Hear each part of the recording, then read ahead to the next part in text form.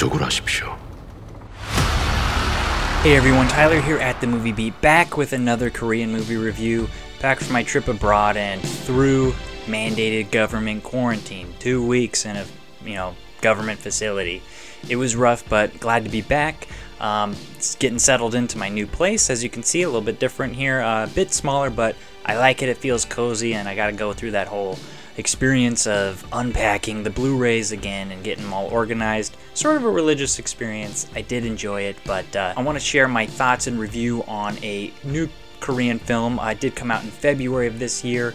Uh, as you probably saw from the title, The Man Standing Next. I did catch it on Netflix, so hopefully it's available uh, to you as well and you don't have to wait too long uh, to see this one. Just to get started, it seems to me like every year we get one or two big movies that help to tell the story of how post-war Korea developed, and really rich with political intrigue and controversy. These films, to me at least, are starting to feel like these puzzle pieces that are fitting together and really helping to illuminate this dark history that um, really historians and the public are still really trying to make sense of. Um, these movies are either helping or uh, pushing certain narratives at times. Um, obviously, some of them have agendas, but one thing is for sure that the road to you know how Korea is today was no easy path, and The Man Standing Next is yet another uh, tough chapter in that progression. The film actually recounts the 40 days that led up to the assassination of then President Park Chung hee on October 1979. Um, and the movie doesn't really require any history knowledge of Korea because it starts with, um, you know, a little crash course in the times and what was going on but uh, the opening titles do state that the KCIA, the Korean Central Intelligence Agency, uh, at the time really wielded this immense power um, and was critical in keeping the president uh, in power for, you know, at the time was going to be 18 years.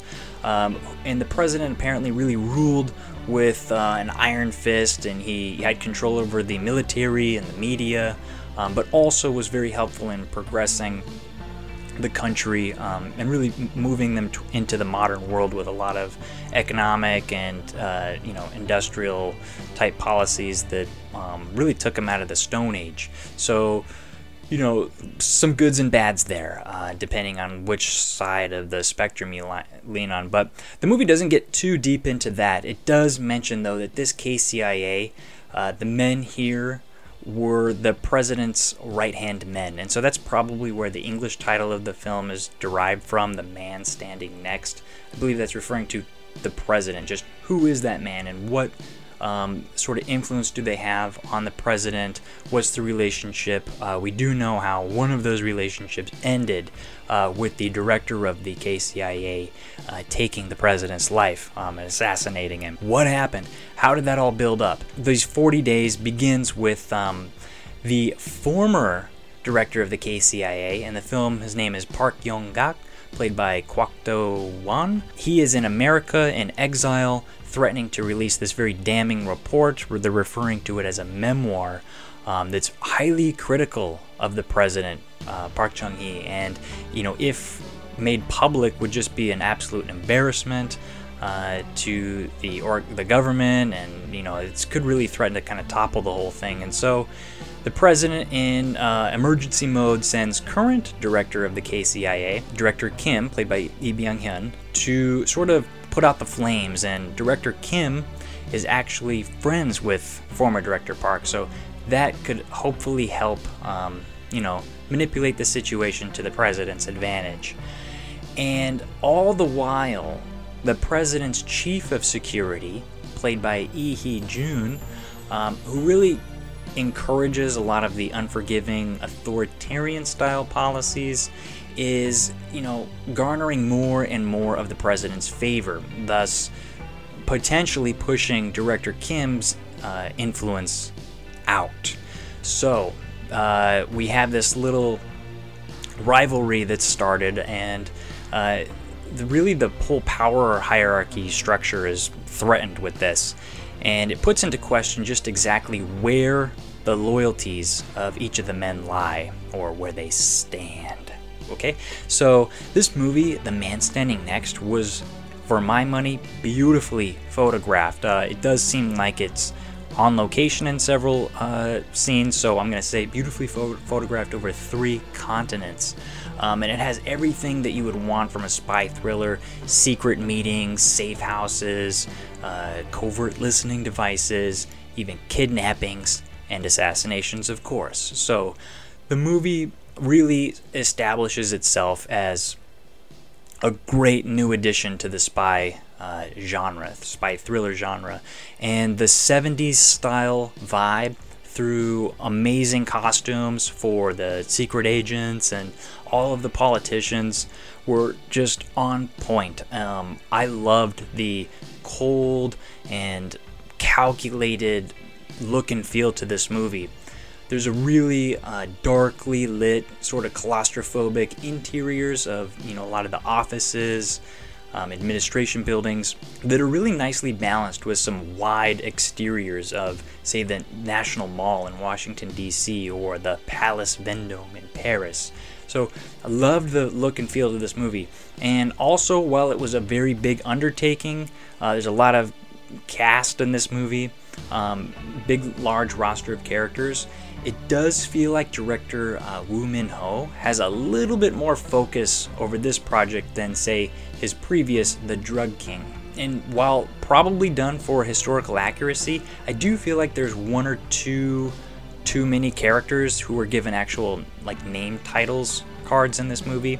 Um, and it actually had me using the Netflix uh, like rewind type feature to try to reinforce these faces and these names so I wouldn't get, you know, too confused because it is kind of a nebulous type connection of people that get this whole thing in motion. So, um, but it actually turned out that they weren't that important. So eh, it made me feel like in the end, you know, they didn't need to have, uh, you know, that many name cards and trying to establish all these characters. The performances uh, are also a little bit more understated than, say, you know, compared to the director's previous films like Inside Men or The Drug King, like I said. So, Lee Sung Min, who plays President Park Chung Hee, whoa, um, amazing uh, transformation. They got him really even looking like the actual the president. Uh, he's got a very uh, commanding screen presence, but he is also gives a lot more of these like kind of cold, uh, dead looks at people that would you know just frightening. Um, you just feel like this guy has a lot he could do.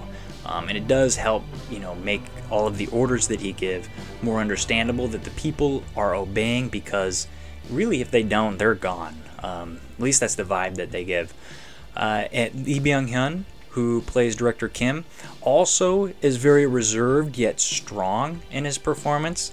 Um, and his portrayal as the director of the KCIA who killed the president.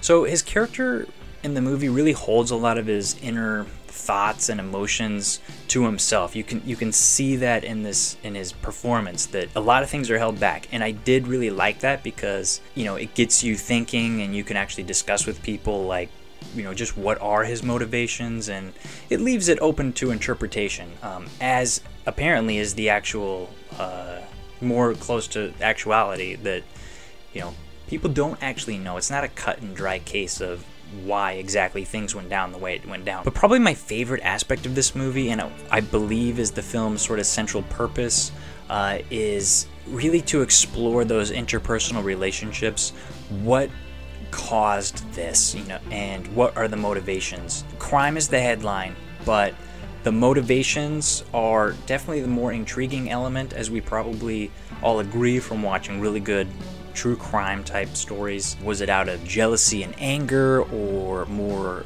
uh, commitment to uh, national duty? Um, so there really is a lot there to sort of break apart, and um, it's not cut and dry, like I said. And unlike a lot of Korean movies about historical or political events, I do feel like The Man Standing Next doesn't try to shove anything down our throats. It doesn't have a clear agenda. It is, to me at least, it felt like it's presenting uh, multiple sides to a situation that happened, and it lets us decide how we want to view the people involved. However, looking back on the movie, I do feel like uh, some of the relationships were not as clearly defined as they could have been.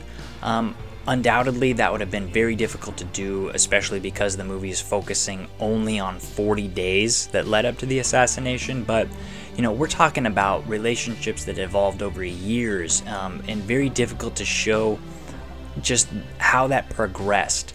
Uh, but I do feel like somehow, if they could have done that a little bit better, it would have reinforced the severity of some of the betrayals in this movie that, you know, might have added to a heightened level of uh, you know paranoia and mistrust that you know is going on in the environments in this movie. Overall, uh, gotta highly recommend this movie just for the acting and historical significance. If it's on Netflix, I mean, you're paying for your subscription anyways. Just watch it. It's it's a great movie. Put it in your playlist now.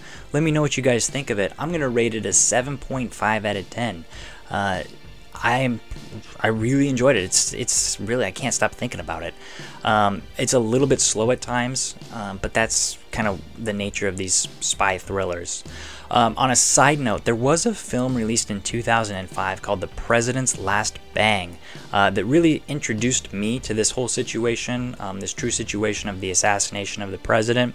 Um, and that movie does focus a lot more on the night the event took place and a little bit of the aftermath some of the buildup, but really um, more of a narrow window.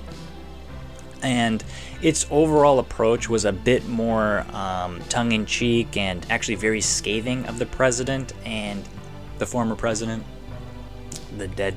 And the movie found itself in some legal battles, uh, some legal trouble, but perhaps uh, the recent political scandals of President now ousted and jailed former President Park Geun-hye, first female president of Korea and daughter to the President Park Chung-hee who was assassinated. You know, wow, Korea, wow, you got a lot of political scandals here.